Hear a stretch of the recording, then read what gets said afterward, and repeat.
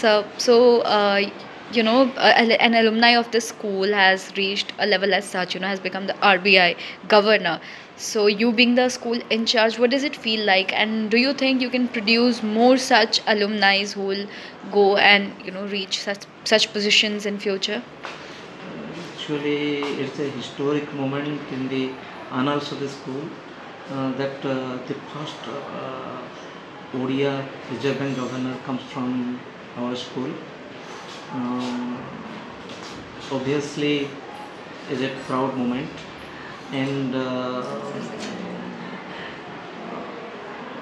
of course, we'll cherish uh, uh, this, and uh, we expect more like him will come up in future.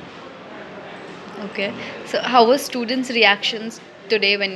Uh, Students were immensely happy, and uh, you know, like uh, they tell uh, Armstrong told uh, one step for mankind, uh, but one step for a man, but a leap for the mankind. Like that, it may be he just stepped into RBI's office, like Mr. Shaktikanta Das, but it's a quantum jump for our children in moral. Yeah, right. And how does it uh, feel like for Orissa as a whole? You know, because somebody from Orissa is. Obviously, he is the first uh, Odia to be Reserve Bank governor, and uh, it's a great moment for us, for Odisha. Uh, the whole Odisha celebrates his appointment. Yeah. Okay.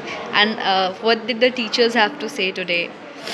Uh, teachers of the school, in fact, we celebrated in our assembly uh, the alumni had a function, uh, and uh, he sent uh, Mr. Shaktikanta sent his message uh, attributing his success to the uh, to his teachers.